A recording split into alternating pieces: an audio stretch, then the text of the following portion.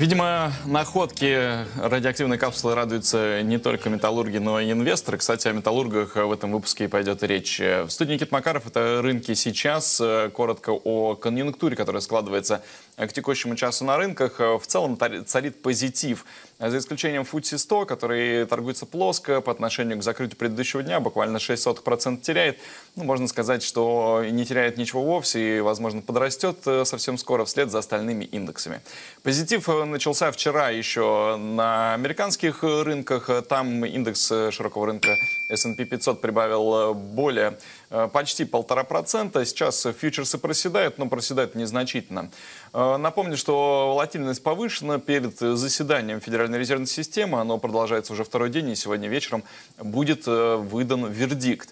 Скорее всего, по консенсусу прогноза рынка, будет повышение ключевой ставки на 25 базисных пунктов, но все ожидают выступления Джерома Паула, председателя, на пресс-конференции после, и там уже будут ловить каждое движение уголков его глаз, чтобы сделать вывод о риторике, что же будет делать ФРС дальше. Ну а пока можно констатировать то, что январь закрылся плюс 6% по индексу S&P 500, и это, в общем-то, хороший признак, как пишет альманах трейдера, это один из признаков того, что год будет хороший. Как прошел январь, так пройдет и весь торговый год. С одной стороны, это хорошо, с другой стороны, Морган Стэнли пишет, что но если рецессии не будет в этом году, 2023 году, то это, вообще говоря, плохо, потому что не будет вот того очистительного механизма экономического, ради которого и затевалось повышение кредитно-денежной, повышение ключевой ставки, ужесточение кредитно-денежной политики. И в Соединенных Штатах Америки придется как можно дольше удерживать ставку на высоких уровнях. Это, на самом деле, для рынков и для экономики не очень хорошо. Э, позитив с американских бирж э, перескочил на азиатские. В индекс Никей закрылся на уровнях закрытия в предыдущего дня. 0,07% добавил. В Японии из интересных новостей в Японии прямые покупки госбандов банком Японии в январе составили 23,7 триллиона йен. Это месячный рекорд. В Китае господин Си Цзиньпинь э, сказал, что будет создан специальный механизм для стимулирования потребления. Рынки, естественно, этому радуются. Индекс гонконгской биржи Hang Seng прибавил процент и 5 сотых. Индекс Shanghai Composite прибавил почти процент. То же самое можно сказать и про индекс голубых фишек Китая, CSI 300. В Европе тоже индексы торгуются на позитивной территории. Индекс э, DAX немецкий прибавляет 0,1%, Евросток 600 прибавляет 17%. Сложно сказать, э, насколько здесь царят радостные настроения, хотя есть повод для позитива. Вышли данные по инфляции в еврозоне, и э, потребительские цены выросли на 8,5% по сравнению с январем прошлого года. Оценка по прогнозу была 8,9. И это хороший признак того, что инфляция замедляется, но Европейский центральный банк, который вслед за ФРС будет принимать решение завтра, сегодня мы увидим решение от э, Банка Англии, э, ЕЦБ, скорее всего, поднимет э, ключевую ставку завтра на 50 базисных пунктов, несмотря на то, что инфляция замедляется, бороться будут с инфляцией дальше. Пока что Европейский Союз находится как бы в отставании от политики, кредитно-денежной политики ФРС. Но европейские акции тоже показали лучший, в общем-то, рекордный с 2015 года рост э, по индексу Евросток 600 с начала года, то есть за январь это тоже более 6,5%. В России, э, можно сказать, тоже оптимистично идет торговля. Э, Совкомфлот после публикации своих операционных результатов прибавляет 12%. Такой локомотив, хотя процент его в весе небольшой. КАМАЗ прибавляет почти 8%, э, Крон прибавляет 11%, iFarm Синтез прибавляет 6,5%, голубые фишки торгуются в незначительном таком расхождении. «Газпром» теряет 7%, «Роснефть» прибавляет 35%.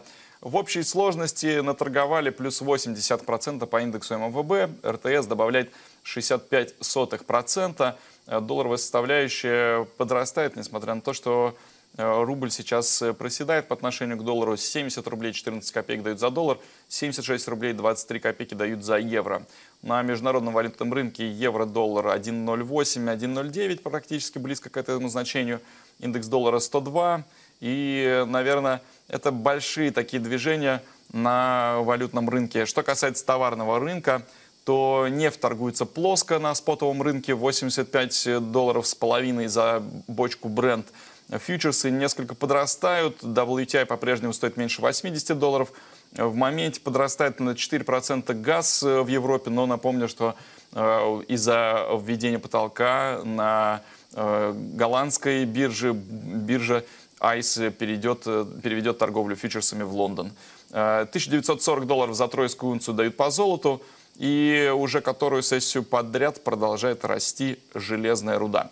Вот э, не только про железную руду, но и в целом про сталь, про металлургов, э, про рынок стали поговорим с нашими экспертами сегодня. Прежде чем пригласить их в эфир, несколько важных, наверное, данных, которые поступили и поступают от разных э, СМИ. Производство стали в России в 2022 году сократилось на 7% до 71,5 миллионов тонн.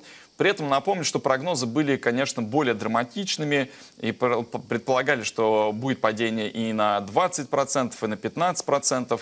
Э, данные, которые вы видите в таблице, они были опубликованы от э, мировой сталевой ассоциации World Steel Association. Опубликованы они 31 января. Общемировое производство составило 1,8 миллиарда тонн. Это на 4 процента меньше показателя 2021 года. В топ-10, кто смог нарастить э, производство стали, выбились Индия, плюс 5,5% год году, Иран плюс 8%. Естественно, самое большое, но здесь нет никаких удивительных выводов, э, производства на Украине сократилось на 70%. Э, падение НЛМК прогнозировали в РФ 15%. Э, сама вот эта сталевая мировая ассоциация прогнозировали 20%, потом улучшили до 6% падения. Северсталь сказали, что спад потребления на рынке стали около 3% в году. Ну и еще одна интересная новость – это экспорт железной руды в Европу из России за год упал в 4 раза до 2,9 миллиона тонн, несмотря на отсутствие санкций. Что влияет на рынок, э, что ждет рынок стали, как удалось переориентировать, куда вся эта сталь теперь идет, э, э, развись, рассуждаем вместе с нашим гостем, с нами на прямой связи Максим Худалов, независимый промышленный эксперт. Максим, добрый день. Добрый день. Максим, в каком вообще состоянии находится отрасль металлургии в России, в ЕС? Почему ЕС перестал экспортировать желруду? Ну, на самом деле цифры, которые вчера э, опубликованы Wall они даже несколько позитивные, потому что при всем том снижении, которое зафиксировано, 7% это кажется довольно крупной цифрой, но на самом деле э, мы понимаем, что, например, в 2009 году, когда не было никаких ограничений торговых, у нас падение после кризиса 2008 года составляло 12%, и мы уходили за цифру ниже 60 миллионов тонн производства. Так что 71,5 миллионов довольно хороший уровень. Он, конечно, ниже рекордных цифр 2021 года, но тем не менее отчаиваться не стоит. А вот в Европе как раз можно задуматься над тем, что с ней происходит с ее сталилитейной отраслью, потому что в том же самом отчете падение производства в Европе составило э, порядка 10,7%, 10 и это 16 миллионов тонн.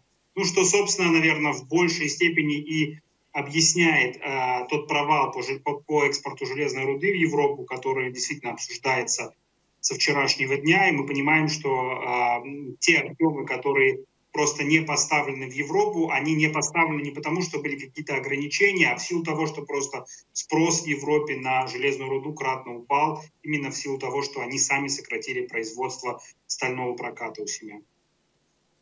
Ну, это начало деиндустриализации или это следствие текущих конфликтов? Э, то есть насколько этот процесс глубок и что вообще в перспективе? На самом деле снижение объемов выплавки стали в Европе, оно имеет довольно длинную, длинную историю. А в начале 2000-х цифра была близка к 190 миллионам тонн. Сейчас мы видим там цифры на уровне 134 миллионов тонн. То есть определенный э, уход из Европы тяжелой индустрии он прослеживался. Но, конечно, в этом году он а, показал абсолютный рекорд. И здесь, здесь это, наверное, немножко согласуется с теми зелеными планами, которые э, Европа заявляла в предыдущие годы. и действительно э, видна тенденция на переход на производство стали с высокой добавленной стоимостью. Это сложные инженерные стали, э, которые требуются в объеме гораздо меньше, которые идут только в отрасли машиностроения. И похоже, что Европа выбирает такой путь э, специализации на производстве дорогой продукции, дорогостоящей продукции. С одной стороны, стратегия хорошая, но с другой стороны, мы понимаем, что вот в таком э, мире, где э, глобализация серьезно поставлена под сомнение большинством игроков, иметь вот такую узкую специализацию только в производстве высокомаржинальной качественной стали, но это может стать стратегической уязвимостью в долгосрочной перспективе. А, вот этот освободившийся рынок, э, будет ли вообще кто-то занимать э, Соединенные Штаты Америки? Или здесь настолько сильный разворот у Европы произошел, что в целом как бы и возврата не видно, и этот рынок, в общем-то, просто схлопнулся?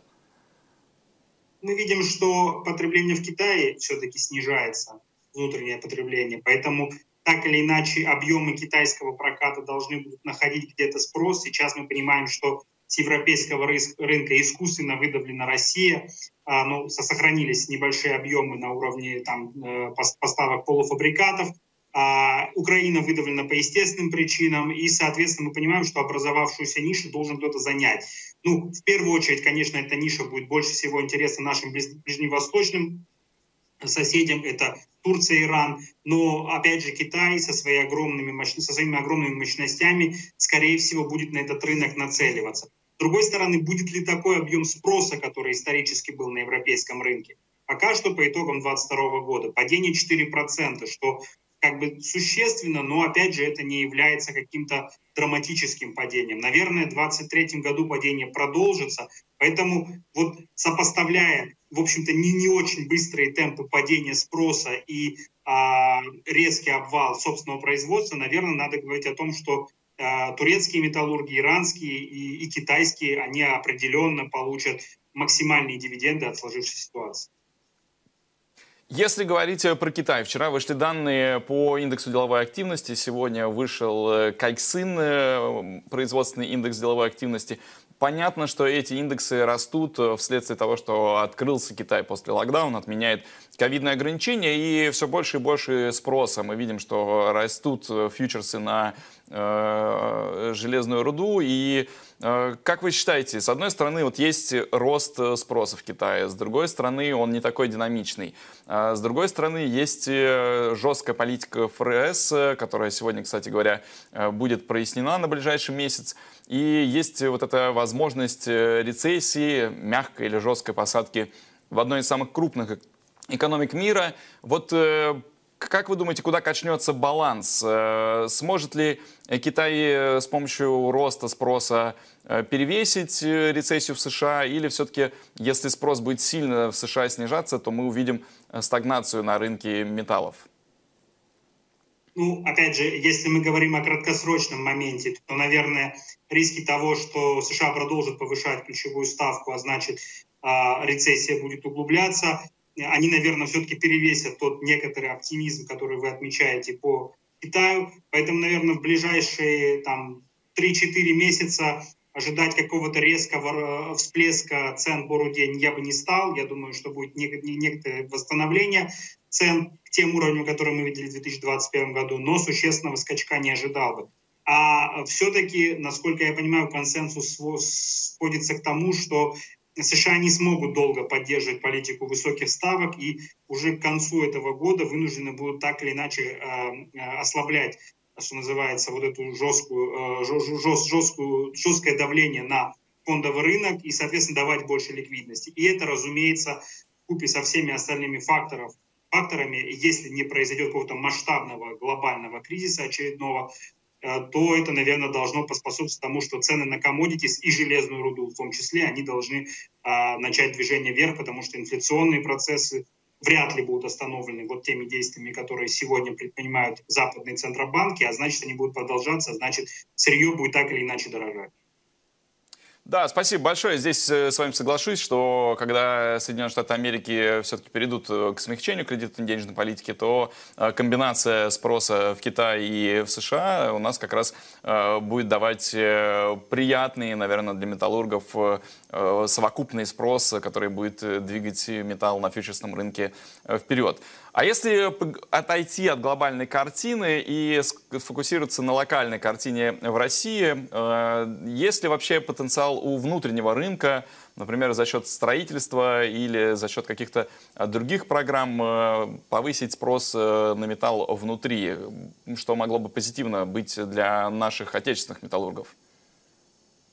Ну, для наших металлургов, конечно, некоторым э, таким неприятным моментом выступает тот момент, что э, вот те программы льготной ипотеки, которые поддерживали строительный рынок, они сейчас, скорее всего, будут сворачиваться, потому что сейчас стоимость а, метра стала уже, в общем-то, не по карману львиной доли граждан страны, поэтому здесь, к сожалению, я думаю, что в строительном сегменте какого-то дополнительной, какой-то дополнительной поддержки э, на ближайшее время не будет. Что касается сегмента машиностроения, то здесь, э, вероятно, будут программы импортозамещения так или иначе работать, плюс э, развитие инфраструктурных проектов. Суммарно, если все это э, посчитать, то, наверное, некоторое снижение строительного сегмента э, может быть компенсировано как раз повышением спроса в машиностроении и в строительстве инфраструктуры, но в целом по 2023 году роста потребления я бы, наверное, не ожидал. Скорее, это перспектива более далеких периодов, 24-25 годов,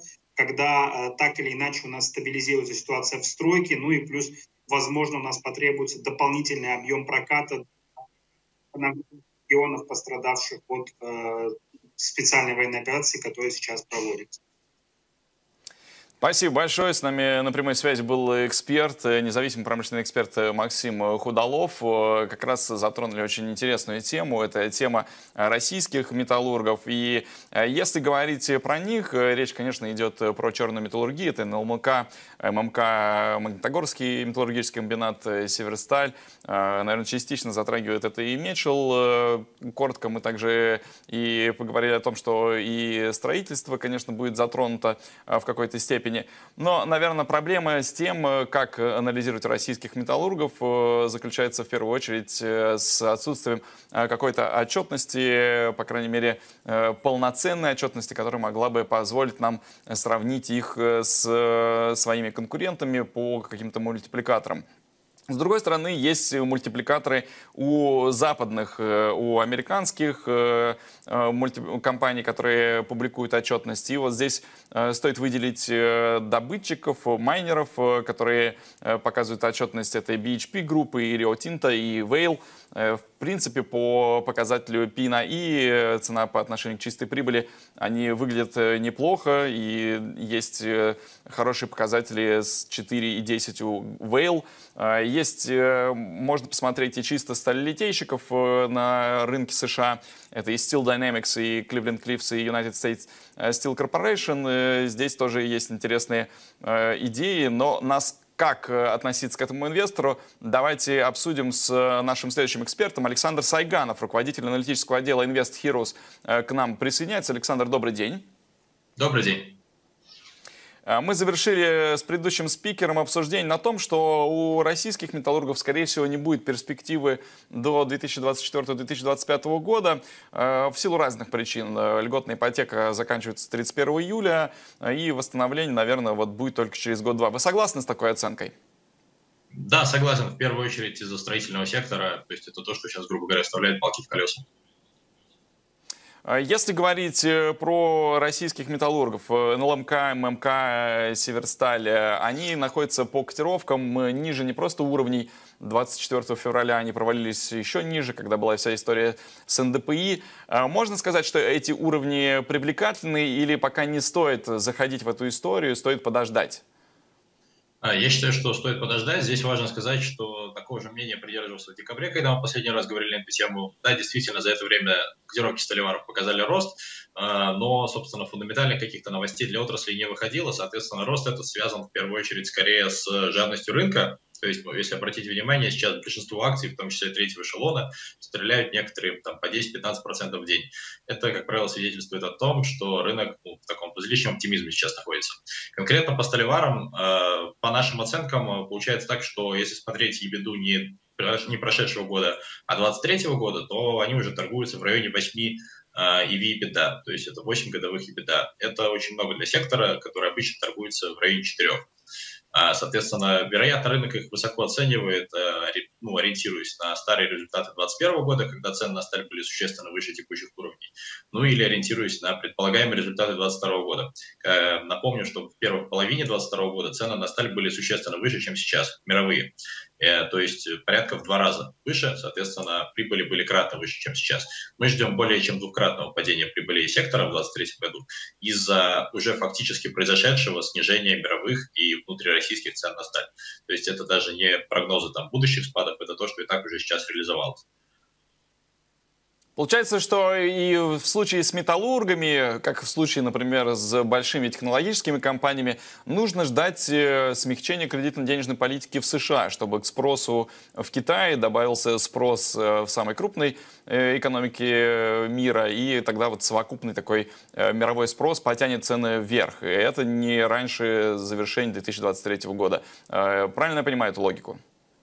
Ну, насчет э, тайминга, здесь можно разные вещи там смотреть, спорить. Здесь нужно будет смотреть на оперативные данные. То есть конкретно в ближайший там квартал-два квартала, то есть нет, скорее всего, этого пока что не произойдет. Пока что идет цикл ужесточения денежной кредитной политики. Но совершенно согласен с вами, что с началом цикла смягчения будут, э, ну, как минимум, уже индикаторы, то есть сигнализирующие о том, что спрос в США э, может начать расти. Естественно, это будет позитивно. То есть сейчас, э, если смотреть на глобальную экономику, то есть проблемы со спросом идут со стороны Европы в первую очередь, во вторую очередь потенциальные проблемы, которые, скорее всего, раскроются вот в ближайшем квартале, это проблемы со стороны спроса в США. Если говорить э, про компании, которые сейчас могут быть интересны, могут ли быть интересны для инвестора компании США? Речь идет про э, ну, те, которые торгуются на биржах США, потому что Rio Tinto э, оригинально, конечно, не из США, но вот Rio Tinto, Vail, BHP Group или все-таки чисто американские компании, которые занимаются сталью, United Steel, Cleveland Cliffs, Steel Dynamics, могут ли они представлять интерес для российского инвестора через Санкт-Петербургскую биржу? Ну, на самом деле, в этом плане, можно сказать, чем сейчас похож глобальный рынок на российский, э, это тем, что достаточно оптимистично рынок оценивает как раз там столеваров и ряд металлургов. А, в принципе, в цены не закладывается вероятность того, что впереди может быть рецессия, в результате которой из-за слабого спроса цены на металлы обычно либо стагнируют, либо снижаются.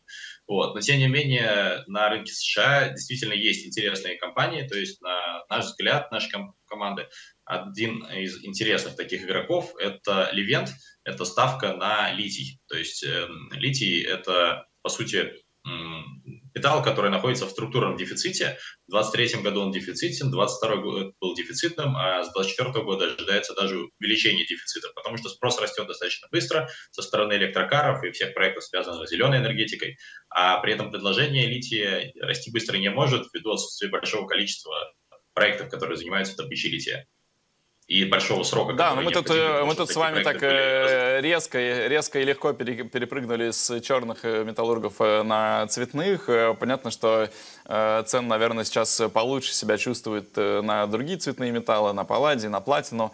А, что касается лития, наверное, да, здесь с вами соглашусь, особенно с вектором, который Соединенные Штаты Америки тоже ставят в главу угла, особенно с политикой президента Байдена и с субсидированием как раз зеленой энергетики.